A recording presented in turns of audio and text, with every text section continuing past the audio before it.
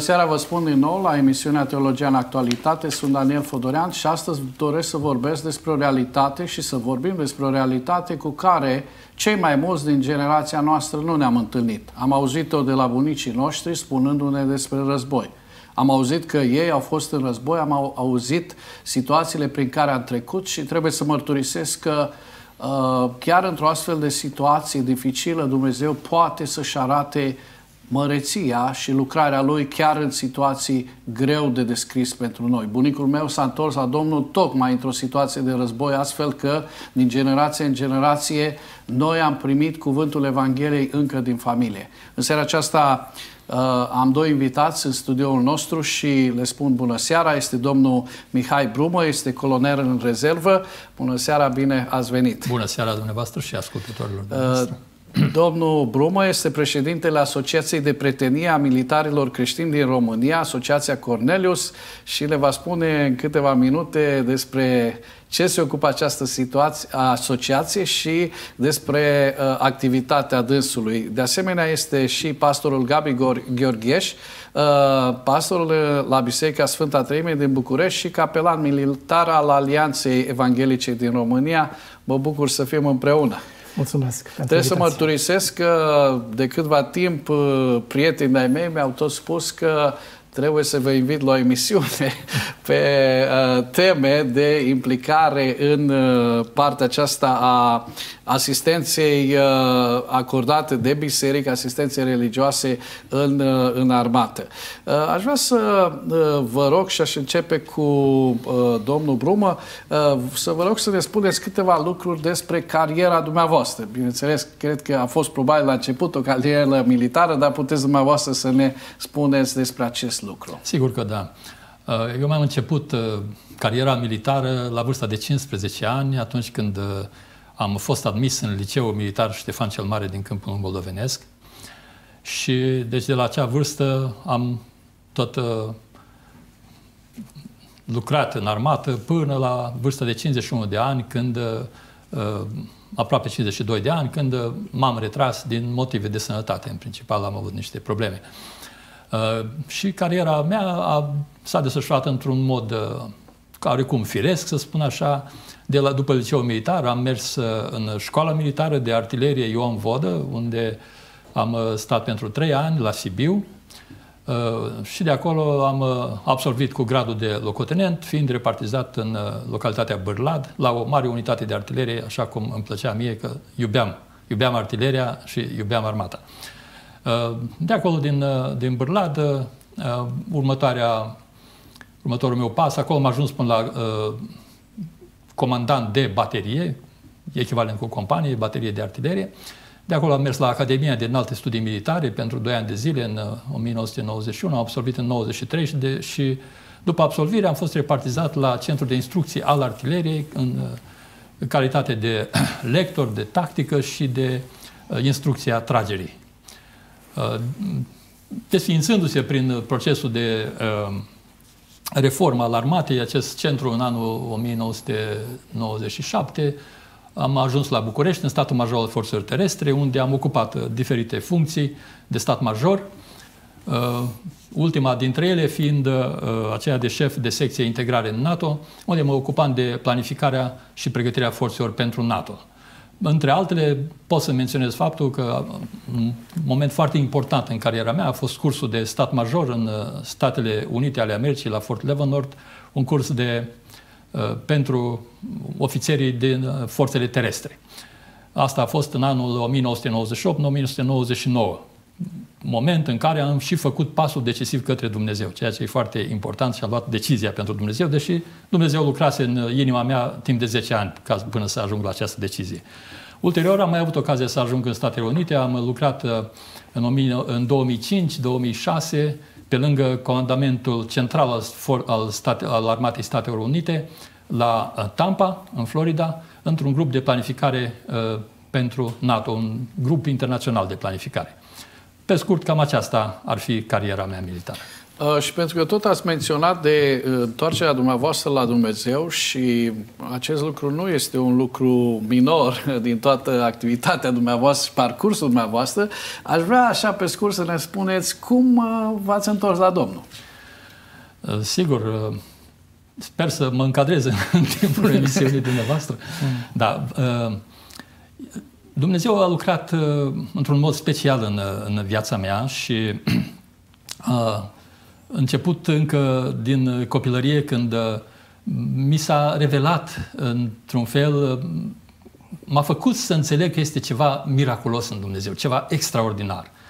Și deși ulterior, uh, prin educație și prin influența lumii, m-am îndepărtat foarte mult de Dumnezeu și am căutat mai mult să uh, intru în domeniul acesta al filozofiei ca să înțeleg viața, să înțeleg de ce trăiesc, mi se părea uh, absolut inutil să trăiești fără să înțelegi scopul vieții. Uh, totuși Dumnezeu uh, m-a călăuzit uh, spre El, chiar cu toată filozofia care de obicei este o piedică în cunoașterea lui Dumnezeu, m-a ajutat Dumnezeu și, ca să spun așa, un moment foarte important în, în acest proces de întoarcere la Dumnezeu a fost întâlnirea cu un militar în termen pe care îl aveam în baterie când, când lucram la Bârladă în anul 1989. Acest uh, om era un om credincios, un om pe care se vedea uh, uh, credința, uh, relația cu Dumnezeu pe fața lui, pe, în felul lui de a fi, se vedea acest lucru.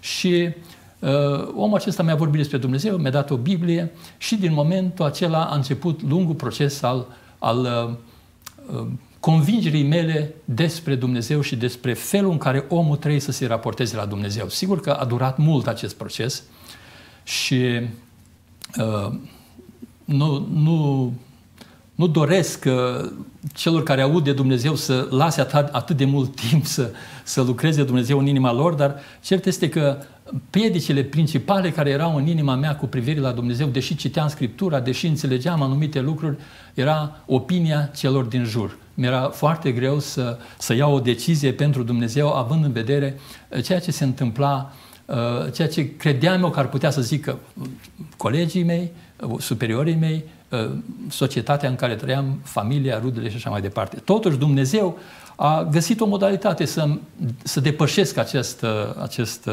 această barieră în hotărârea mea și uh, m-a ajutat să ajung în Statele Unite la cursul de care v-am povestit și acolo uh, m-am simțit liber între mine și Dumnezeu să iau o decizie pentru el. Am simțit că uh, Uh, nu este problema celor din jurul meu, decizia mea, relația mea cu Dumnezeu. Și am putut să iau o decizie pentru Dumnezeu. Sigur că și acesta, procesul de uh, întoarce la Dumnezeu, felul în care m-am predat Domnului, felul în care m-am hotărât, felul în care m-am ajuns să mă botez, iarăși este ceva uh, destul de îndelungat, Însă acolo am văzut din nou uh, mâna lui Dumnezeu și felul, faptul că El mă purta spre această decizie, că n-a fost o decizie uh, întâmplătoare, n-a fost o decizie uh, determinată de împrejurările în care mă aflam, ci a fost voia lui Dumnezeu să mă întorc la El. Și în felul acesta m-am hotărât pentru Dumnezeu în timpul cât eram acolo. Sigur că ar vrea să spun un, un aspect foarte semnificativ, faptul că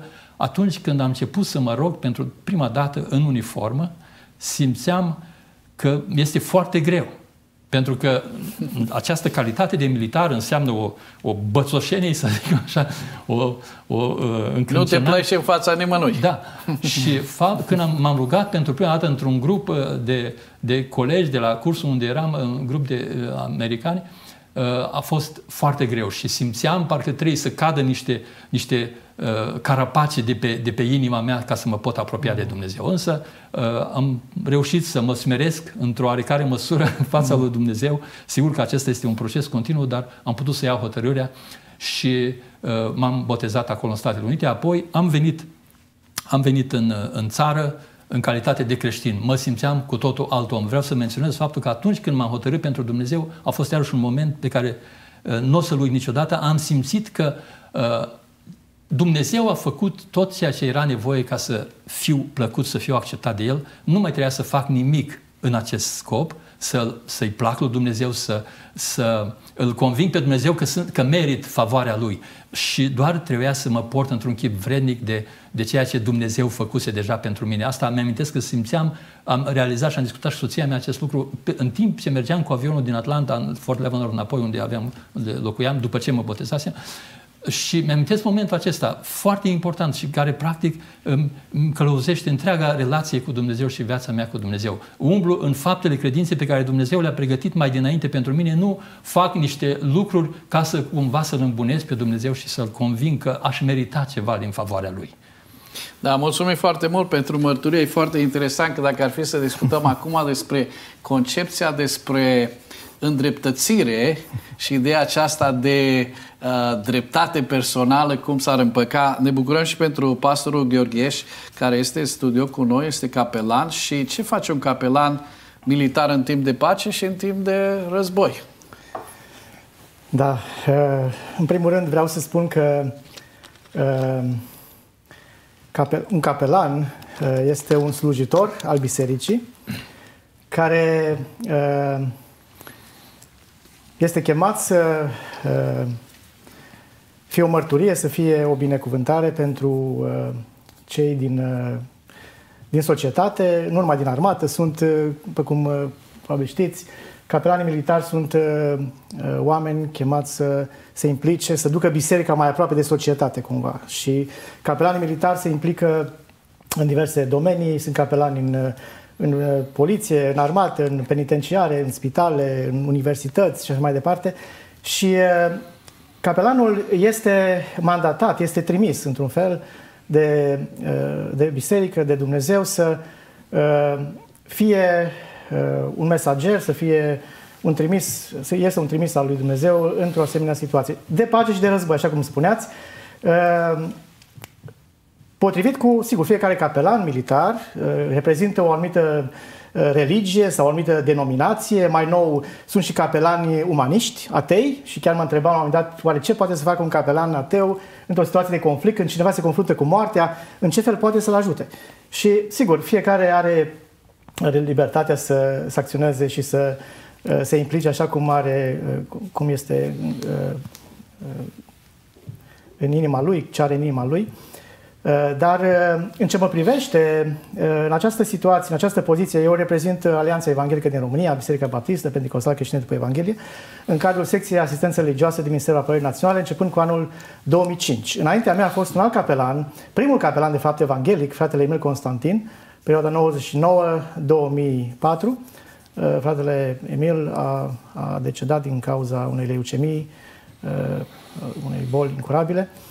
Uh, dar eu am continuat oarecum această misiune începută în contextul în care, sigur, sunt uh, și alți capelani în armata română, majoritatea sunt capelani ortodoxi și mai există și un capelan uh, catolic.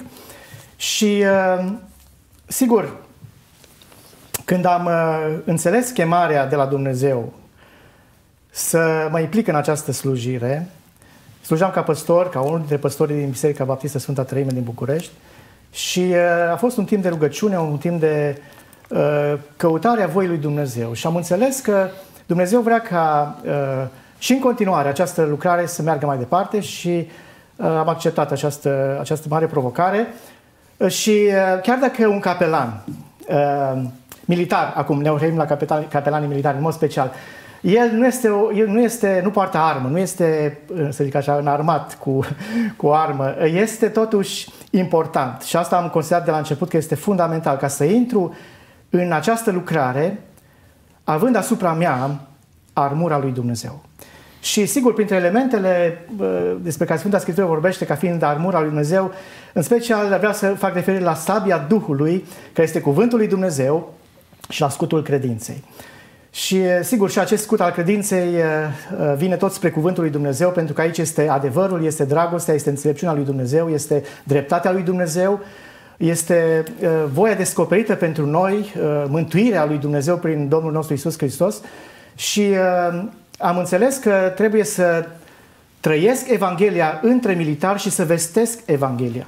În timp de pace, când, sigur, militarii sunt în unități și s-au desfășurat anumite exerciții, dar și să fiu pregătit, încă n-a fost cazul, dar un capelan trebuie să fie pregătit ca atunci când este solicitat să însoțească aceste unități militare în diverse contexte de război, de conflicte, ca să asigure aceeași, să zic, asistență religioasă care constă în încurajare, care stă, constă în prezentarea, în propovăduirea învățăturii pe care o avem ca și creștini, a Evangheliei, rugăciune, sigur, actele de cult care sunt necesare în diverse situații, dar în esență capelanul este omul care, având armura lui Dumnezeu în viața lui, o împărtășește, împărtășește și cu alții valoarea, importanța Uh, vieții trăite, așa cum spunea și domnul colonel Brumă, uh, sub autoritatea lui Dumnezeu, să te smerești înaintea autorității supreme din univers, mai ales că sunt situații în care uh, ești confruntat cu moartea și atunci trebuie să ai un răspuns și la ce se întâmplă după moarte. Pentru că, sigur, toți încercăm să rămânem în viață, dar e important să fim pregătiți și pentru, pentru ceea ce urmează după moarte. Și așa, așa că uh, un capelan trebuie să fie acolo, să fie printre oamenii care sunt chemați la datorie, la datoria de a-și apăra țara, de a uh, crea stabilitate și uh, echilibru în societate uh, și să uh, fie alături de ei și la bine și la greu. Deci doi, uh, doi, sunteți doi oameni care uh, sunteți într-o relație directă cu ceea ce înseamnă armata uh, și uh, uh, mă bucur că ați putut să exprimați și faptul că dincolo de armă există o armă care noi o avem, să ne luptăm împotriva uh, lucrurilor rele, a atacurilor celui rău și anume cuvântul lui Dumnezeu, rugăciunea și toată armura pe care Apostolul Pavel o descrie în Efeseni. Este război o soluție pentru problemele dintre oameni și dintre națiuni? De ce da, de ce nu? Și să începe cu dumneavoastră. Uh, părerea mea că nu ar fi cazul ca oamenii să apeleze la război. Mm unul dintre cei mai cunoscuți teoreticieni militari, Clausewitz, a spus uh, niște cuvinte care au rămas celebre. Ră, uh, război este continuarea politicii cu alte mijloace. Și asta dovedește că, de fapt, politica face și lucruri rele. Din moment ce războiul devine la un moment dat o continuare a politicii, înseamnă că politica are în ea niște lucruri rele, care pornesc din răutatea oamenilor. Și de aceea, uh, practic, oamenii ar trebui să facă o politică bună ca să nu ajungă la război. O politică care este călăuzită de principiile lui Dumnezeu, de felul de a fi al lui Dumnezeu, pentru că Dumnezeu, de fapt, asta vrea de la oameni. Să îl reprezentăm pe El prin felul nostru de a fi, prin ceea ce facem, prin modul în care ne raportăm unii la alții și prin, prin scopurile pe care le avem uh, pe pământ și tot ceea ce facem noi. Însă, în momentul în care uh, omul nu reflectă caracterul lui Dumnezeu în, în viața lui și politica în sine uh, este expresia cea mai elocventă a felului în care oamenii se raportează la Dumnezeu ca societate, să zicem, deși acolo și caracterul fiecăruia contează foarte mult, însă în momentul în care politica nu reprezintă pe Dumnezeu, atunci vine un moment când politica simte că e nevoie să apeleze la forță, să e nevoie să apeleze la armată. Și de aceea uh, consider că n-ar fi cazul să facem război, dar cât timp, cât timp politica este așa cum este, vor fi războaie. Și nu se vor termina cât timp va fi omenirea vor fi războaie. Sunt convins după cuvântul Lui Dumnezeu că așa va fi. Noi trebuie să milităm pentru pace, să căutăm soluții la toate conflictele și la toate problemele dintre oameni, soluții pașnice, dar va fi război totdeauna. Nu trebuie război, dar va fi război din cauza răutății noastre a oamenilor. Acolo unde eșuează politica, apare războiul. Acolo unde politica este fundamentată pe uh, valorile, învățăturile care sunt fundamentale pentru noi ca și oameni de la început cu care Dumnezeu a creat oamenii uh, și uh, a restaurat ființa umană prin Domnul Isus Hristos, acolo există șanse. Dacă îmi dați voie să spun uh, un lucru foarte, foarte simplu, Vedeți dumneavoastră, atunci când vorbim de uh, soft power, se vorbește uh, acum în, în lumea aceasta politică, uh, puterea, deci ex, aplicarea forței ușoare neletale, ca să zicem așa, aplicarea forței neletale. Atunci când vine cineva și îți, îți calcă interesele în picioare prin alte mijloace decât războiul, atunci Uh, nu mai pot spune că e un eșec al politicii. Este poate un moment când cineva nu mai rezistă la toate presiunile aceea și este nevoie să uh, vină să facă apel la, la arme. Deci există o revoltă chiar dacă nu este da. război. Uh... Aș spune uh, și faptul că, sigur, uh, uh conflictul la nivel personal, războiul, Până la urmă începe în inima omului. Este exact. un război, este un, o, un conflict uh, uh, care escaladează și se ajunge într-adevăr la forme, uh, la forme uh, în care războiul atinge cote alarmante și distrugătoare. Uh, dar uh, mă gândesc la ce spune Sfânta Scriptură, uh, prima, primul omor, care a fost Cain și a omorât fratele, pentru că ceva s-a întâmplat acolo în inima lor și uh, Păcatul a stăpânit inima lui Cain în mod special și l-a determinat să își omoare uh, fratele. Uh, și de atunci, sigur, conflictele la o scară mai mică sau mai mare s-au uh, perpetuat, au continuat de-a lungul istoriei și vedem și în Scriptură, războiul nu este absent, pentru că face parte din realitatea pe care o trăim și, așa cum spuneam, este forma uh, cea mai gravă a conflictelor care se dezvoltă între oameni. Și uh, această, uh, această, această reacție izvolită din mândrie, din egoism, din dorințe, din planuri și acțiuni firești.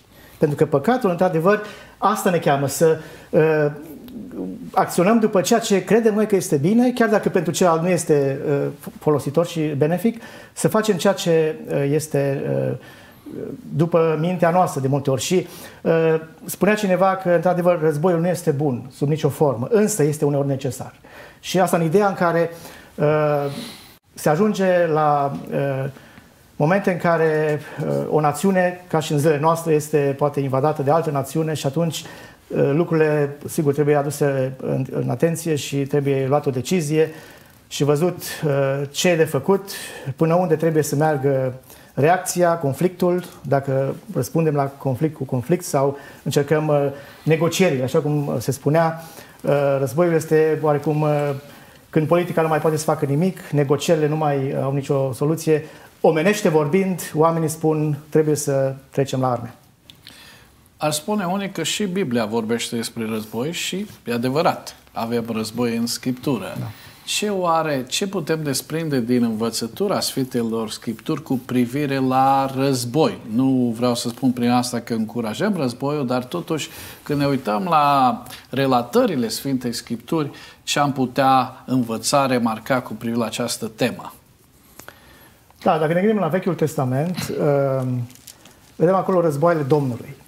Și acolo, uh, uh, clar, destinația Motivul pentru care Dumnezeu uh, uh, chema poporul să lupte împotriva altor popoare și să uh, le nimicească uneori era da, din cauza păcatului, a răului, a idolatriei care ajunsese la culme. Și atunci Dumnezeu încerca cum o curățire, o uh, eliminare, o îndepărtare a răului. Și sigur, când Dumnezeu uh, îți spune să faci un lucru, uh, ascultarea de Dumnezeu este uh, fundamentală, este importantă. Și uh, din acest motiv, în Vechiul Testament există această, aceste situații în care vedem uh, lupte, războaie, conduse de oameni chemați de Dumnezeu să îndeplinească o anumită misiune uh, și zilele acestea s-a vorbit foarte mult despre David și Goliat. Da? David, un om atât de mic, împotriva unui om atât de mare, și biruința a fost de partea lui David pentru că el a fost chemat, a fost abilitat, a fost uh, binecuvântat de Dumnezeu și însoțit în această luptă pe care el,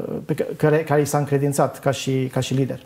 Acum, privind în Noul Testament, sigur că Mântuitorul nostru Iisus Hristos uh, ne-a învățat, ne-a uh, fost El însuși o, un model uh, de, uh, de ce înseamnă să cauți pacea, să urmărești pacea, să promovezi pacea, să renunți la tine de multe ori ca să, uh, cu orice risc, pentru a uh, a aduce pacea în, între oameni. Însă, sigur, Mântuitorul vorbește despre uh, această atitudine la nivel personal. Fiecare dintre noi suntem într-adevăr chemați să, uh, să lăsăm ca Dumnezeu să ne păzească viața și să ne uh, însoțească în orice situație în care ne aflăm. Uh, chiar de multe ori cu prețul vieții. Prigoanele creștinilor au fost de atât de atâția ani uh, o realitate și uh, creștinii au fost gata și dispuși să-și dea viața pentru credința lor. Pentru că ei știau că viața aceasta este doar o parte din existența noastră ca și creștini. Totodată, uh, Mântuitorul și Scriptura, Noul Testament, în special cărțile Noului Testament, vorbesc despre o autoritate pe care Dumnezeu o încredințează statului, dregătorilor, care sunt, până la urmă, mandatate de Dumnezeu să oprească răul, să uh, anihileze răul și, uh, sigur, de multe ori, pentru ca să ajungi la pace, trebuie să lupți și să rezolvi problema răului. Și uh, din acest motiv avem, sigur, texte în Scriptură, cum este în Roman, capitolul 13, unde se vorbește despre importanța supunerii față de uh, autoritățile statului, care, la nivel mai mic sau mai mare, la nivel local, național și uneori și internațional, sunt chemate să uh, Uh, să elimine răul, să judece răul și să urmărească pacea până la urmă. Pentru că, așa cum spuneam, ca să ajungi la pace, de multe ori trebuie să rezolvi și să elimini și să sancționezi răul care uh, este de multe ori uh, atât de mare și răufăcător. Cred că, ca, cred că da. ar fi bine de remarcat și nevoia uh, de a promova războiul drept și cauza dreaptă. Este foarte important. Dacă a fost necesar să intrăm într-un război, trebuie să fie un război drept. Și cauza pe care o urmărim trebuie să fie dreaptă. Și de asemenea, dacă ajungem să luptăm un război, iarăși trebuie să respectăm niște principii. În afară de cauza dreaptă, trebuie să fie, război trebuie să fie de, declanșat de autoritate legitimă. O autoritate care poate să facă lucrul acesta. De asemenea, trebuie să se uh, dus cu intenții corecte războiul. Este foarte important să intențiile celor care luptă să nu, să nu fie intenții rele. Și, de asemenea, războiul trebuie să fie doar cu un aspect, să aibă aspectul acesta de ultimă instanță. Nu mai aveam nicio soluție. Am fost atacat, trebuia să răspund, de exemplu. Da? De asemenea, trebuie să fie dus cu mijloace proporționale și trebuie să aibă o speranță rezonabilă de succes militar. Și, de asemenea, cred că e important să spunem despre uh, Uh, faptul că necombatanții trebuie, nu trebuie să fie vizați în mod intenționat, iar uh, trebuie respectate drepturile legale uh, ale soldaților și ale civililor, chiar inamici. Uh-huh. Sunt, sunt lucruri care trebuie respectate și mai ales pentru un creștin, lucrul acesta este, este uh, trebuie să guverneze implicarea lui în război. Nu, nu poate să, să uh, se implice în, în război dacă nu respectă aceste lucruri la polul opus uh, uh, este pacea, conceptul de pace pe care îl găsim în Scriptură. Ce ne spune Biblia despre pacea personală și pacea socială? Și aici poate că ar trebui să menționăm câteva lucruri și despre conceptul acesta de pace, care este, într-un fel, uh, o aspirație pe care atât la nivel personal cât și național o avem. Exact. Uh, spune, uh, spune aș citi din, uh, din, din, din Epistola lui Pavel către Romani, la capitolul 5, versetul 1, Deci, fiindcă suntem socotiți neprihăniți prin credință, avem pace cu Dumnezeu, prin Domnul nostru Isus Hristos. Sigur, pacea este un concept atât de larg și implică atât de mult și este atât de binefăcător. Și, sigur, în primul rând, noi, ca oameni, suntem ostili față de Dumnezeu. În momentul în care am, am decis sau decidem să nu-L ascultăm pe Dumnezeu, înseamnă că declarăm oarecum război lui Dumnezeu, deși nu avem nicio șansă să luptăm, să biruim să, în lupta cu Dumnezeu, pentru că Dumnezeu este Creatorul, este stăpânul uh, vieții, al Universului și uh, atunci cei care au de câștigat uh, sunt, cei, sunt oamenii care recunosc că uh, au nevoie de pace cu Dumnezeu și că această soluție, această pace, de fapt Dumnezeu ne-a oferit-o nouă. A venit cu pacea spre noi și uh, ne-a oferit uh, calea, ne-a oferit soluția pentru a putea să beneficiem de pacea Lui, de binecuvântarea Lui, de prezența Lui și de răsplata Lui, nu de pedeapsa și judecata Lui. Și uh, mă gândesc, spre exemplu, că atunci când uh, Mântuitorul s-a născut uh, și uh, îngeri au vestit uh, nașterea lui și păstorii uh, au auzit uh, mesajul îngerului uh, și oastei cerești, lăudând pe Dumnezeu și zicând slavă lui Dumnezeu în locurile prea înalte și pace pe pământ între oamenii plăcuți lui. Acum, într-adevăr, oamenii care au înțeles că Dumnezeu vrea să aibă o relație de pace, de binecuvântare cu ei. Uh, sunt oameni care Uh, vor promova această pace și uh, cuvântul spune aici între oamenii plăcuți lui. De multe ori, într-adevăr, această pace a lui Dumnezeu în comunitate, în societate, uh, în anumite comunități de oameni mai mici sau mai mari, este manifestată și putem beneficia de ea dacă suntem plăcuți înaintea lui. Și sigur, de multe ori există tensiune, există uh, dezbinare, poate, există lipsă de unitate, uh, de pace între oameni, chiar și în biserici uneori, pentru că oamenii uh, nu apreciază această voia lui Dumnezeu și această supunere, această smerenie înaintea lui și în fața lui și ascultare de el și căutarea, urmărirea acestei păci de a, în a face bine, în a renunța la tine și a fi o binecuvântare pentru, pentru cei de lângă, lângă tine. Așadar, pacea personală, pacea socială, pacea între națiuni vine odată cu pacea lui Dumnezeu, de cu mântuirea sufletului nostru și această schimbare a minții noastre, a gândirii noastre și această recunoaștere că suntem ai lui Dumnezeu și suntem chemați să uh, transmitem mesajul lui Dumnezeu, nu mesajul nostru, de răzbunare, de răzvrătire, de ură, ci de dragoste, de bunătate, de uh, Pe baza textului din Luca am putea să spunem, cum frumos ați accentuat, este că cu cât vom fi mai pe placul Domnului, cu atât vom putea să ne placem și unii altora. Și uh, acolo spune, între oamenii plăcuți lui, deci pacea nu poate să vină acolo unde noi nu suntem pe placul lui Dumnezeu. Acolo va fi tot timpul da. război. Hristos, Hristos este pacea noastră, așa cum spune și Scriptura. Exact. Și dacă oamenii ar căuta să, să se umple de Hristos, atunci ar trăi în pace, ar putea să trăiască în pace. Apostolul Iacov spunea niște lucruri foarte interesante despre ceea ce strică pacea dintre oameni. El spune uh, că luptele și certurile dintre noi ca oameni vin din poftele noastre, care se luptă în organele noastre, în mădularele noastre și zice, noi poftim și nu avem, ucidem, pismuim și nu izbutim să căpătăm. Ne certăm și ne luptăm și nu avem pentru că nu cerem sau cerem și nu căpătăm pentru că cerem cu un gând rău să risipim în plăcerile noastre. Din cauza uh, răutății din noi, uh, se ajunge la conflicte între noi și eu sunt așa, văd așa de clar cum conflictele dintre oameni de fapt se ridică la scară socială și duc la conflicte între grupuri și la conflicte între națiuni. Și e clar că asta vine din, din inima oamenilor, din inima, și din inima conducătorilor, sau din inima celor din jurul lor, care îl îndeamnă să ia o decizie pentru război, să rezolve problema care aparent uh, este acolo. Poate să fie, da? Dar uh, să o rezolve doar pe, pe, prin uh, intermediul armelor, ceea ce strică pacea. În Până. cariera dumneavoastră de militar, bănuiesc că ați văzut oameni care nu aveau pace, cu toate că eram în timp de pace, mm. nu eram în război și uh, ei devenind chiar un pericol, inclusiv în armată, probabil, având o armă în mână și având muniție, atunci când nu e pace, oricând poate să escaladeze. Cum ați trăit aceste, această realitate a păcii și a liniștei în cariera dumneavoastră de militar? Da, cei răi n-au pace, zice Domnul.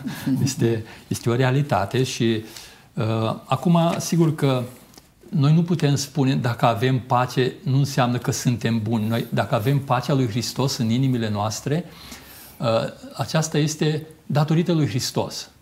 Nu, nu din cauza că bun, ce buni suntem noi, avem pace și uh, pot să, să vă spun cum în diferite situații și împrejurări din activitatea mea am primit pacea aceasta lui Dumnezeu pentru că am renunțat să mă încred în capacitatea mea și m-am încredut în, în puterea lui Dumnezeu de a rezolva problemele. Și lucrul ăsta a fost cu totul extraordinar. Aveam de rezolvat o situație, de dat o situație până dimineață, era uh, ceva extrem de complex și peste posibilitățile mele. Aveam un grup de lucru compus din vreo 15 persoane care trebuia să stabilească împreună, să ajungă la o sumă, că vorbeam de planificarea forțelor, la o sumă repartizată cu niște forțe care trebuia stabilite și s-a ajuns într-o situație în aceasta critică în care trebuia să dăm până dimineața un rezultat. Și am zis, Doamne, eu nu pot. Și atunci m-am încrezut cu totul în Dumnezeu și dimineața am văzut când am adunat uh, propunerile celor 15 care eram acolo și am însumat, ne apropiam la foarte aproape o, o diferență absolut insignifiantă de suma la care trebuia să ajungem. Am văzut puterea lui Dumnezeu. Este un exemplu mic despre ceea ce Dumnezeu uh, poate să facă și cum poate să-ți dea pace. Și am avut această pace în inimă până în momentul când uh, mi-a confirmat Dumnezeu că încrederea în El dă pace și este uh, un, un element la care trebuie să să, să-l cerem de fiecare dată când uh, avem nevoie și nu, nu avem pace. Pentru că vin momente când nu este pace în inima noastră. Vin momente, vin situații, vin împrejurări. Însă noi trebuie să, să ne bazăm pe, pe Harul lui Dumnezeu, pe, pe ceea ce este Dumnezeu pentru noi. Și atunci suntem umpluți de pacea Lui și gândurile acestea și temerile și toate acestea sunt, sunt date la o parte prin, prin încrederea aceasta și, uh, și ascultarea aceasta, când facem orice gând ascultării de Hristos. Dăm la o parte temere, dăm la o parte lucrurile care ne, ne, nu ne lasă să, să avem pace și El ne dă pace. Am uh, încercat să retrăiesc, deși cred că nu se poate trăi sau retrăi experiența celor din uh, Moldova și Ucraina, în special a fraților noștri din Ucraina, și probabil uh, și întrebările noastre celor din România, cu războiul aproape de noi. Un pastor, uh, în urmă cu câteva zile, a întrebat în biserică dacă războiul ar fi la noi, aici, ce ar face bărbații bisericii. Și cred că asta este cumva o frământare și o întrebare pentru credincioșii de acolo uh, și pentru orice credincios care se află într-o zonă de conflict, ar trebui creștinul să meargă în război? Din păcate există această concepție uh, despre necombativitatea creștinului, că un creștin ar trebui să stea inert, să aștepte să nu știu ce să aștepte. Să aștepte să rezolve probabil cei din jurul lui pericolul. Cred că asta ar fi uh, rezolvare, pentru că altfel nu văd cum ar putea să rezolve. Însă, uh, eu aș întreba pe cineva care adoptă, sigur că nu e timp să discutăm ne argumentele și mai mult pro, timp dacă trebuie. pro și contra. Uh, sunt, uh, Scriptura este plină de argumente și pro și contra acestei atitudini defetiste sau pacifiste, da? sau războinice, cele două variante de, de uh, acțiune.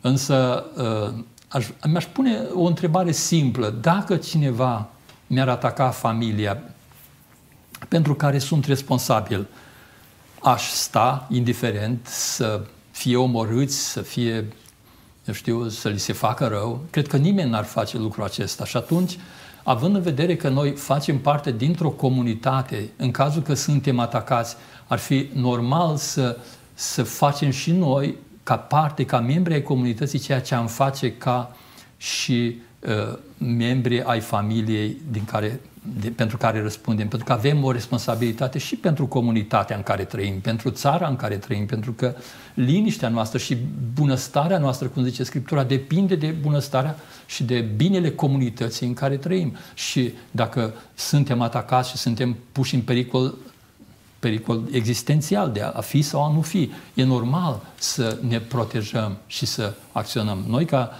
și uh, Asociația Militarilor Creștini a trebuit uh, să definim foarte clar uh, poziția noastră în această privință, pentru că există pericolul acesta uh, colegii noștri să nu aibă încredere în noi. din cauza tocmai acelui mod de a gândi că eu ca și creștin n-ar trebui să trag cu pușca. Și am avut un vecin acolo unde m-am născut la țară care mi-a spus că niciodată n-a tras în inamic. El fusese în al doilea război mondial și n-a tras, a tras în aer. M-am întrebat, oare este normal să faci așa ceva? Dar el știu de ce făcea. Nu cred că din cauza că se temea de Dumnezeu, pentru că nu era un creștin practicant așa foarte Uh, ci din cauza că spera că în felul acesta să nu-i se întâmplă și lui ceva rău. E un fel de karma, să zicem, ceva de genul ăsta. Dar vedeți că sunt și creștini care gândesc că l-ar supăra pe Dumnezeu dacă ar trage în inamicul lui. Mm. Și din cauza aceasta, uh, pentru că uh, lucrând în armată, mi s-ar părea absurd să, să, să fii în armată, membru al armatei și să gândești în felul acesta. Mai bine dă demisia, frate, dacă ești așa, sau fă ceva. Dacă nu poți să înțelegi voia lui Dumnezeu în privința aceasta, că este nevoie să îți aperi țara, să acționezi chiar și folosind armele, sigur, păstrând principiile de care am vorbit un pic mai devreme, sunt uh-huh. multe de discutat și asta, dar e nevoie să, să te aperi, să uh, acționezi în felul acesta. Și noi am elaborat un document în 10 puncte al Asociației Militarilor Creștini cu privire la poziția noastră față de război și serviciu militar. Și uh, foarte clar am încercat să definim acolo, sigur că uh, sunt situații care nu le poți Uh, defini și sunt situații care nu știi cum să acționezi, însă atunci noi ca și copii al lui Dumnezeu care suntem într-o relație cu Dumnezeu ne bazăm pe călăuzirea care ne dă Dumnezeu chiar în momentul respectiv, având în vedere această relație cu care, uh, cu, uh, în care suntem cu, cu El. Și de aceea ne încredem în Dumnezeu, indiferent câte principii am putea pune noi pe hârtie și câte principii ne-am asumat noi ca oameni, intervin situații în care parcă toate principiile nu, mai, nu, nu, mai, nu răspund, nu fac față. Și atunci ne încredem în Dumnezeu pentru călăuzire și sunt convins, 100% mai convins decât faptul că eu exist și că noi suntem aici, că Dumnezeu în care ne-am încrezut ne va da o soluție și o scăpare din situația respectivă, în așa fel încât să acționăm în frică de El și uh, un, un mod de acțiune care să-L cinstească pe El ca Dumnezeu.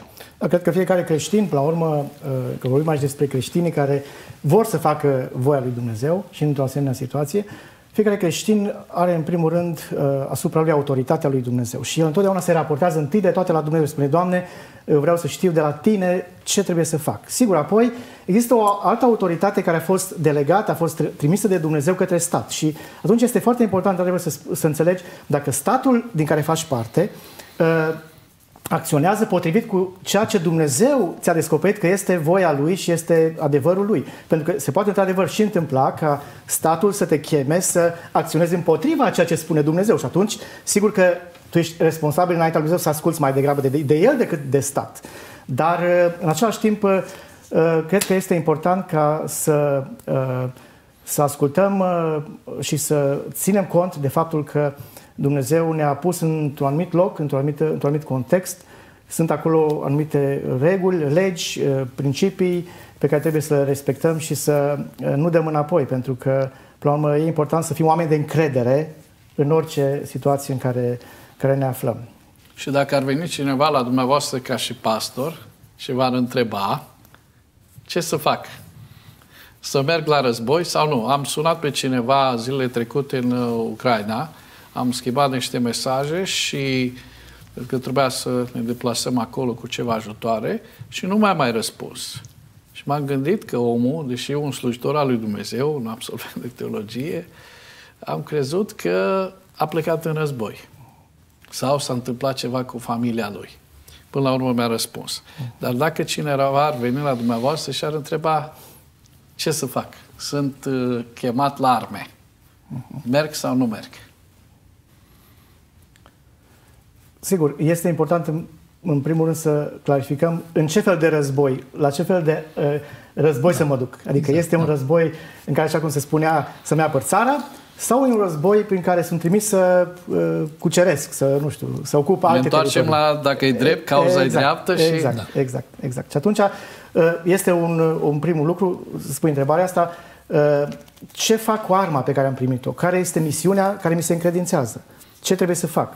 Uh, este uh, ceea ce Dumnezeu uh, îmi spune că este parte din autoritatea uh, pe care trebuie să o respect, a, a, armatei care mă cheamă, a conducere țării care mă cheamă să-mi apăr țara, sau uh, mă cheamă armata să uh, invadez, să uh, lupt împotriva altora, să cuceresc alte teritorii. Și aici mă gândesc, spre exemplu, la cel al doilea război mondial, când uh, de multe ori bisericile, creștinii uh, s-au aliat, uh, s-au, s-au subordonat statului, știind că statul face ceva rău.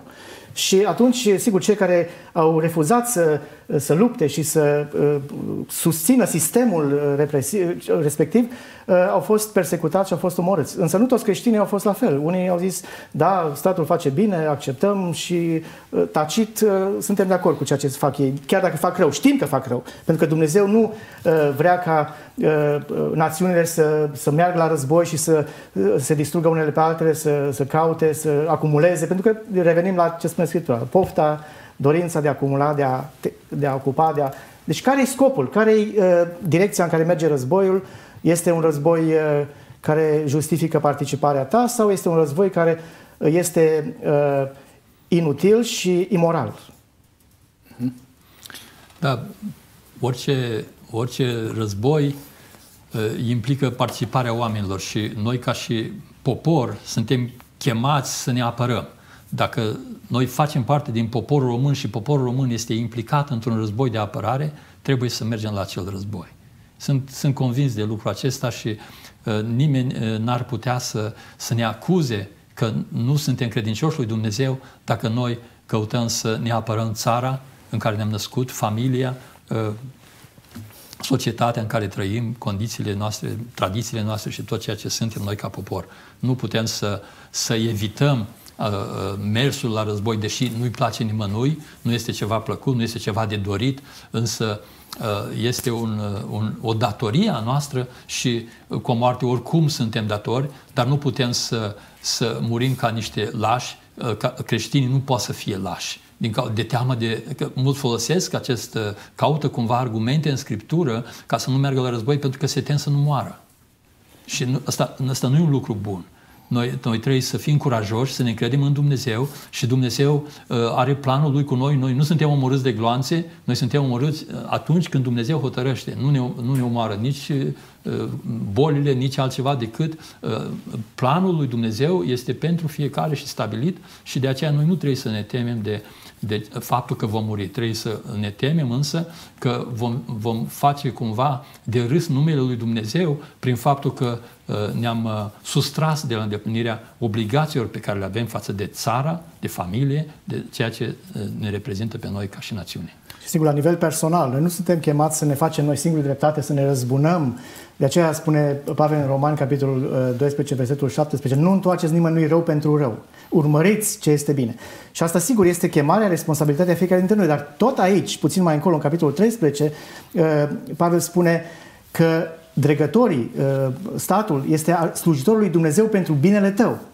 Și este chemat să judece, să pedepsească uh, răul și nu degeaba poartă sabia. El este în slujba lui Dumnezeu ca să răzbune și să pedepsească pe cel ce face rău. Deci iată că statul este chemat, este mandatat de Dumnezeu să Uh, facă dreptate și să pedepsească pe cel ce face rău. Acum revenim la, la discuția, este uh, rău sau este uh, ceea ce facem când mergem la război este să sancționăm răul sau din potrivă să promovăm răul. Exact. Deci, deci, cu alte cuvinte, pe baza textului de aici, înțeleg în felul următor ca un prim reper pentru uh, dilema aceasta în care ne-am putea afla uh, și anume uh, eu mă voi alinia statului uh, în ceea ce privește războiul, atâta timp cât el face ceea ce Scriptura spune. Uh-huh. Pedepsește răul exact. Și este pe o direcție bună. Atunci eu mă voi alinia și acesta devine un prim, cumva, principiu în discernământul da. nostru, pentru că eu mă gândeam acum, vorbim de creștini din Ucraina uh-huh. și vorbim de creștini din Rusia. Uh-huh. Unii sunt chemați să meargă în Ucraina la război și alții din Ucraina sunt chemați să-și apere țara. Deci, exemplele sunt da. cât de uh-huh. elo- foarte... Uh, mai vrea să adăugați aici ceva? Nu, este, este complicat. Este complicat. Dacă aș fi un soldat în armata rusă, mi-ar fi foarte greu. să, să uh, mă hotărăsc dacă uh, conștiința mea îmi dă voie să particip la acel război. Dar Dumnezeu poate să te călăuzească. Poți, de exemplu, să fii o mărturie acolo.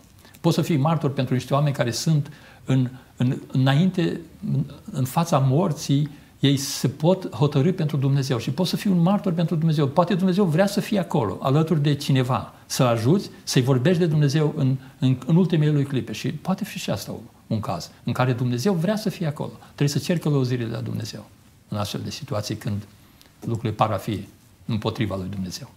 Mai am avea și alte argumente de Sfânta Scriptură legate de uh, repere în care să putem spune uh, da, noi ar trebui să uh, mergem în război? Faptul că Domnul Isus Hristos nu, nu i-a criticat pe militarii pe care i-a întâlnit cu privire la profesia lor, cred că este un argument destul de, de bun. Faptul că sutașul Corneliu, despre care se vorbește în faptele apostolilor și care Dumnezeu, Duhul Sfânt, l-a, l-a convins și a dat o dovadă despre faptul că a fost primit de Dumnezeu, s-a întors la Dumnezeu. Nu, nu avem niciun uh, argument să credem că el a părăsit armata în momentul după ce s-a întors la Dumnezeu. Faptul că Ioan Botezătorul le-a spus soldaților care veneau să se boteze doar să fie, să mulțumească cu lefurile lor, să facă ce este drept, dovedește că uh, serviciul militar și uh, uh, împlinirea datoriei ca și militar sunt uh, un lucru după voia lui Dumnezeu. Da, mulțumesc. Mai era. Da, mă gândeam la uh, situația în care Domnul Isus Hristos uh, era în grădina Ghețimani, urma să fie prins și ucenicii se agitau în jurul lui și încercau cumva să-l apere ca să, uh, să nu fie omorât, să nu fie prins. Și sigur că uh, planul lui Dumnezeu atunci acolo era ca Isus Hristos, Fiul lui Dumnezeu, să fie bajocorit, să fie prins, să fie răstignit pentru că era un plan al lui Dumnezeu pentru a aduce mântuire, iertare uh, pentru oameni. Și într-un asemenea context, într-adevăr, Domnul Iisus Hristos spune uh, lui Petru, uh, pune sabia în teacă, da? Nu, uh, nu, nu încerca să mă aperi, pentru că eu am de făcut acum ceva. Am, am, eu sunt în planul Tatălui ca să împlinesc o lucrare. Și totodată, uh, nu la mult timp după aceea, uh, chiar Domnul Iisus Hristos de asemenea spune uh, și el i-a zis, acum din potrivă, cine are o pungă să o ia, cine are o traistă de asemenea să o ia și cine n-are sabie să-și vândă haina și să-și cumpere o sabie. Căci vă spun că trebuie să se împlinească cu mine aceste cuvinte scrise. Deci, într-adevăr, uh, Mântuitorul nu a fost uh, uh, împotriva dreptății și împotriva manifestării autorității pe care Dumnezeu a încredințat-o autorităților statului, degătorilor și chiar și într-o situație de, de, de conflict care, așa cum am discutat, poate să fie în, în favoarea răului și atunci trebuie acesta sancționat. Deci, și mai este un text, pentru că, într-adevăr, există un conflict cosmic. Nu numai ceea ce vedem noi este un conflict, ci Biblia spune că noi avem de purtat o luptă, un război care este la la un nivel mult mai mare și uh, un război invizibil, nevăzut, care are efecte însă și uh, implicații în viața noastră de zi cu zi și uh, finalul istoriei, pe la urmă, va fi o biruință a binelui asupra răului. Ce rău va fi judecat, va fi pedepsit uh, și, uh, spre exemplu, în Apocalipsa, capitolul 19, Începând cu versetul 11, aș vrea să citesc câteva cuvinte. Apoi am văzut cerul deschis și iată că s-a arătat un cal alb și cel ce sta pe el se cheamă cel credincios și cel adevărat. Și el judecă și se luptă cu dreptate. Ochii lui erau ca para focului. Capul lui îl avea încununat cu multe cununi împărătești și purta un nume scris pe care nimeni nu știe decât numai el singur. Era îmbrăcat cu o haină muiată în sânge. Numele lui era, este cuvântul lui Dumnezeu. Oștile din cer îl urmau călare pe cai albi, îmbrăcate cu insubțire, alb și curat. Din gura lui ieșea o sabie ascuțită ca să lovească neamurile cu ea, pe care le va cârmui cu un toiac de fier și va călca în picioare, cu picioarele teas, în, teascul cu picioarele teascul vinului mâniei strânse, aprinse a autoputernicului Dumnezeu. Iată, deci, finalul istoriei va fi, până la urmă, o biruință, o luptă pe care Hristos, Fiul lui Dumnezeu, cel care a fost omorât la un moment dat, s-a lăsat prins și omorât și uh, sacrificat, crucificat, ajunge să fie domn, să fie stăpân și într-o zi va veni să judece și să sancționeze și să pedepsească răul și pe toți cei care fac rău și luptă împotriva binelui.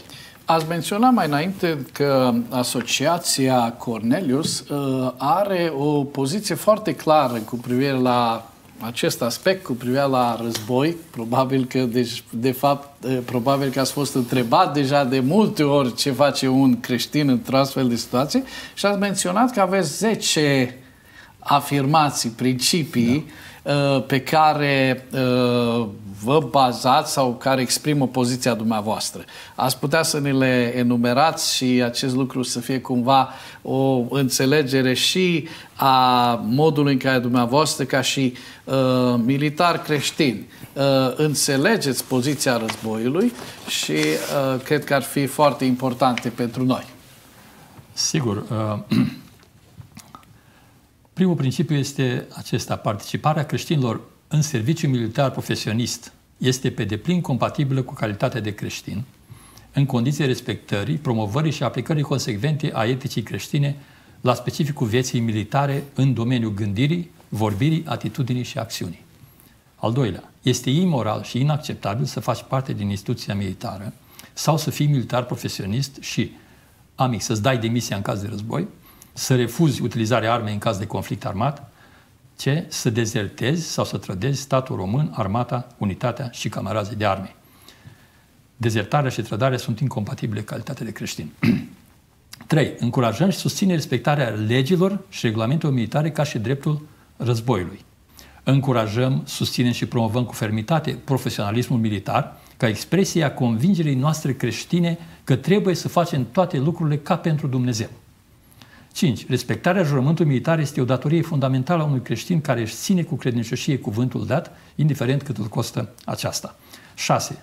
Afirmăm prioritatea ascultării de Dumnezeu în raport cu ascultarea de oameni atunci când acestea ajung în conflict și încrederea neclintită în călăuzirea de vină pentru situații de ilegalitate sau non-etică sau cele aflate la limita dintre legal și ilegal, etic și non-etic. 7. Exprimăm cu fermitate hotărârea de a nu executa ordinele ilegale care contravin ordinii de drept și dreptul internațional umanitar. Uciderea intenționată a persoanelor nearmate, a civililor, a copiilor, etc. În situațiile când legea dragostei creștine ar fi încălcată prin consecințele cuvintelor noastre, vom alege tăcerea, a nu spune nimic, cu privire la adevărul care ar aduce prejudicii intereselor legale, intereselor legale ale camarazilor noștri, unității armatei statului român. și uh, păstrarea secretului militar este o obligație fundamentală pentru un militar creștin, iar inducerea în eroare a adversarului prin orice mijloace nu contravine eticii adevărului. 9. Recunoaștem obligații constituț- constituționale ce ne revin ca urmare a angajamentelor internaționale ale statului român. 10. Nu acceptăm situații în care suntem obligați să promovăm, acceptăm, tolerăm incorectitudinea în relație cu oricare dintre camarazii noștri de arme, colegi, subordonați sau superiori în grad sau funcție, în astfel de cazuri folosind toate forme legale de a restaura corectitudinea. Acestea acoperă, de fapt, uh, și viața uh, în, în relațiile dintre militari și am căutat să acoperim cât mai multe din, uh, din situație care s-ar Ce putea. am înțeles eu din principiile acestea pe care le-ați enunțat este că, pe de o parte, ele se fundamentează pe niște cerințe ale Scripturii cu privire la comportamentul nostru în societate, ca și creștini, ca și urmași ai Domnului Isus Hristos, dar în același timp sunt integrate și cu uh, responsabilitățile și cu procedurile pe care noi le avem ca și țară uh, și legislația Uh, la care ne supunem în uh, țara noastră. Este normal, acestea fac, sunt parte integrantă a modului în care noi trebuie să ne facem datoria de militari. Nu putem să uh, trăim în afara legilor, în afara contextului național, internațional în care acționăm. Ce ar putea să facă și ar trebui să facă biserica în situații de război? Sigur, este chemarea, așa cum știm foarte bine, de a iubi, de a face bine, de a ajuta. Uh, sunt atât de multe ocazii, situații, mai ales în situații de, de, uh, de război, în care biserica poate să fie aproape, mai mult poate ca înainte, de oamenii care suferă, de oamenii care sunt uh, în situații critice, au nevoi deosebite. Uh, războiul, într-adevăr, poate să aducă uh, distrugeri și să rupă familii, să, pe lângă bunurile materiale, să creeze și această această teamă și această dezbină, această lipsă de, de pace, de unitate în familii și uh, biserica este chemată să se roage și să facă bine, să trăiască Evanghelia și să vestească Evanghelia. Pentru că și, da. că așa cum spunea, să spunea la un moment dat, în asemenea situații pot să fie o mărturie, pot să fie o binecuvântare și mă gândesc, pe exemplu, în această perioadă de pandemie, dacă ar fi să luăm pandemia, că parcă s-au legat pandemia, acum s-a terminat pandemia, nu mai știe nimeni de pandemie, acum toată lumea e cu războiul. Uh, în această perioadă uh, agitată pentru uh, lumea noastră, am simțit că Dumnezeu mă cheamă într-un mod special să folosesc această, această sabia Duhului, care este cuvântul lui Dumnezeu, pentru a, pentru a birui cumva teama, îngrijorarea, descurajarea, care se așterne atât de ușor peste sufletele noastre. Și la începutul acestei perioade de pandemie am început să, să scriu și să, să trimit mesaje de încurajare din Cuvântul lui Dumnezeu. Un text biblic, o scurtă meditație aplicată la o realitate cu care ne confruntăm și o rugăciune prin care am încercat să fiu aproape de cei care, pe care îi reprezint, pentru că, da, eu sunt capelanul evanghelic în armata română, sunt singurul, dar Uh, totodată sunt în legătură, colaborez uh, cu pastori, cu uh, cei din Alianța Evanghelică, cu bisericile baptiste, pentru că creștinul Evanghelie, comunitățile locale și încerc să fiu în legătură cu frații noștri slujitori și cu militarii și să încurajez și să ne întâlnim, să ne vizităm prin asociații de multe ori, organizăm tot felul de întâlniri și cu scopul de a ne încuraja unii pe alții. Și legat de cuvântul pe care îl trimit, este cu adevărat uh, important și necesar, pentru că uh, dacă ne pierdem, uh, dacă nu avem cuvântul lui Dumnezeu în atenția noastră, ne pierdem foarte ușor reperele și foarte ușor ne pierdem încrederea în Dumnezeu, ne, ne pierdem speranța, ne pierdem pacea și de aceea este important să fim în permanență hrăniți, alimentați, să ne hrănim cu cuvântul lui Dumnezeu. Și am făcut acest lucru și eu și am simțit că mulți, mulți oameni din armată și din numai, din politică, din diverse contexte, au simțit că uh, au, nevoie, au nevoie de Dumnezeu și de un cuvânt din partea lui Dumnezeu, de un adevăr pe care să poată să uh, se conteze și să știe că uh, dacă îl acceptă și dacă cred în ceea ce spune Dumnezeu, uh, Dumnezeu uh, intervine, îi binecuvântează, Uh, aduce soluții ne poate gândite, neștiute de noi, dar Dumnezeu vrea și poate. Și Dumnezeu vrea să fie aproape de noi. Și uh, tot, uh, apropo de aceste meditații, le-am cuprins și într-o carte, se numește La adăpostul cuvântului, pentru că mi-am dat seama că într-o asemenea vreme și în orice vreme, de fapt, trebuie să fim la adăpost. Și adăpostul cel mai sigur este adevărul lui Dumnezeu, sunt promisiunile lui Dumnezeu și e important să le avem cu noi în fiecare zi și să le transmitem și celor care poate uh, nu știu, mulți spun Uh, aș vrea să am pace, aș vrea să am liniște, aș vrea să am speranță, dar de unde oare să le găsesc? Și atunci Dumnezeu se apropie de ei prin cuvântul Lui, prin Duhul Său cel Sfânt și le aduce o binecuvântare. Vom încheia cu o meditație, dar înainte de a încheia cu uh, meditația aceasta și cu rugăciunea, aș vrea să vă întreb și pe dumneavoastră, cum vedeți biserica și rolul ei în uh, această perioadă a războiului? Părerea mea că biserica uh, nu se reduce la slujitori așa cum există o, o tendință de a se identifica mai ales în poporul nostru. Biserica înseamnă preotul și clădirea și ce acolo, lucrurile alea de acolo. Biserica este comunitatea credincioșilor și dacă vorbim ce face biserica, ar trebui să ne gândim ce face fiecare dintre noi și comunitatea în ansamblu ca și să zicem, organism viu, nu-mi place să spun cuvântul, folosesc uh-huh. cuvântul instituție, dar fiecare dintre credincioși, este foarte important ce face, uh, cum participă, cum se implică, uh, cum slujește, cum mărturisește, că noi suntem o biserică care îl mărturisește pe Hristos, dar nu numai în ansamblu ei, ci în special prin fiecare credincios mărturisește credința prin felul în care uh, își îndeplinește îndatoririle în cazul respectiv. Până acum a trebuit doar să, să uh, rămânem tari în Domnul, să mărturisim celor din jurul nostru că nu trebuie să ne temem, să-i ajutăm să înțeleagă că există un Dumnezeu în care ne put, pe care ne putem baza, poate a trebui să ajutăm refugiații, poate a trebui să ne punem la dispoziție casa, să dăm din bunurile noastre, din, din resursele noastre, dar poate va trebui să ne ducem și să uh, slujim efectiv în, în, uh, pe linia frontului și atunci și aceasta este, face parte din misiunea bisericii să facem ceea ce se așteaptă de la un copil al lui Dumnezeu în orice situație.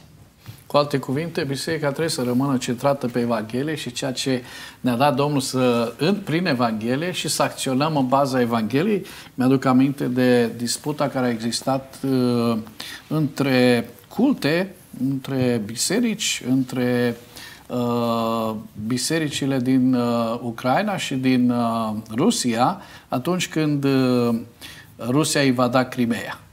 A fost un întreg război, pentru că biserica din Rusia, uh, mă refer strict la Biserica Baptistă ca să nu fac o, să fiu specific în ceea ce spun, uh, a susținut demersul invaziei în Crimea și acest lucru a făcut ca fraților din uh, Ucraina să fie foarte uh, afectați de lucrul acesta. Cu alte cuvinte, biserica ar trebui să se țină de Evanghelie, să împlinească da. Evanghelia în contextul războiului, mm. arătând, urmărind dreptatea, fiind acolo prezenți chiar și în ceea ce uh, spunem noi situații, situații extrem de dificile. Exact. Uh, aș vrea să închem cu o meditație și dacă tot ați amintit că într-o vreme ca și aceasta pacea pleacă din interior spre exterior, Uh, din liniștirea pe care ne-o dă cuvântul, aș vrea să avem o meditație și să ne și rugăm. Este o meditație pe care o citesc de pe telefon pentru că o trimit uh, pe WhatsApp și pe, pe Facebook, de asemenea pe contul meu, Gabi Gheorghiaș. Și meditația care a fost uh, ieri, pe care am trimis-o ieri, are legătură cu subiectul nostru de astăzi și tocmai cu textul citit și la care se fă cu referire din Iacov, capitolul 4, versetele 1 la 3, de unde vin luptele și certurile între voi? Nu vin oare din poftele voastre care se luptă în mădularele voastre? Voi poftiți și nu aveți, ucideți, pismuiți și nu izbutiți să căpătați. Vă certați și vă luptați și nu aveți, pentru că nu cereți. Sau cereți și nu căpătați, pentru că cereți rău cu gând să risipiți în plăcerile voastre. Conflictele cele mai mari între oameni își au originea în inimile stăpânite de pofte, dorințe, planuri alimentate de egoism, lăcomie și ură. Cu cât cineva împotrivitor față de adevărul divin și stăpânit de firea păcătoasă are influență și autoritate mai mare, cu atât revărsarea răului este mai extinsă și mai distrugătoare. Doar Dumnezeu, prin prezența și lucrarea Duhului Sfânt, poate să aducă schimbarea modului de gândire și acțiune, dar și biruința în lupta cu noi înșine, cu lumea și cu forțele întunericului. Ca și creștini, dacă îi cerem ceva lui Dumnezeu, nu trebuie să fie potrivit cu logica, sentimentele și așteptările noastre omenești, ci în acord cu valorile, principiile și prioritățile sale sfinte.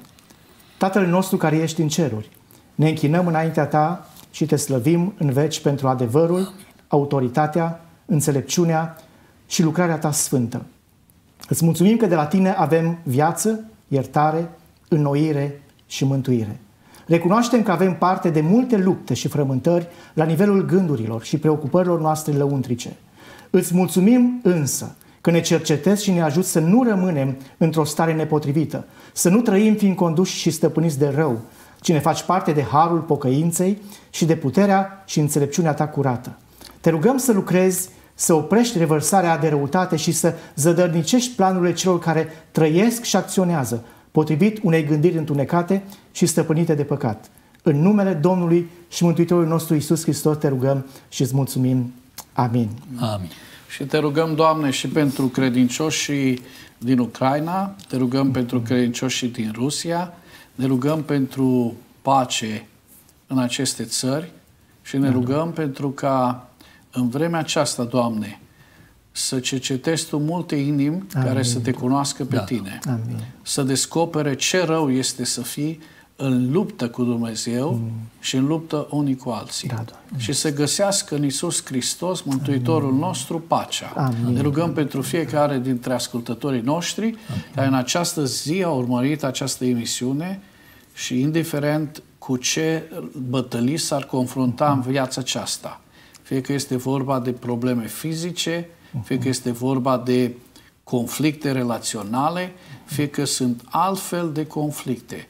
Te rugăm, Doamne, ca să-i ajut să descopere în Tine pacea Ta. Amin. Îți mulțumim pentru binecuvântarea care ne-ai dat-o prin Domnul nostru Isus Hristos și pentru că prin El putem să avem pace. Te chemăm pentru cei care nu au această pace, da, Doamne. Da, da. Chiar în aceste momente să-i ajut să poată să strige către Tine, Amin. să-și deschiză inima către Tine și să spună că au nevoie de Tine Amin. și că au nevoie de pacea Ta. Da, da. Îți mulțumim și te slăvim pentru toate. Amin. Amin. Amin.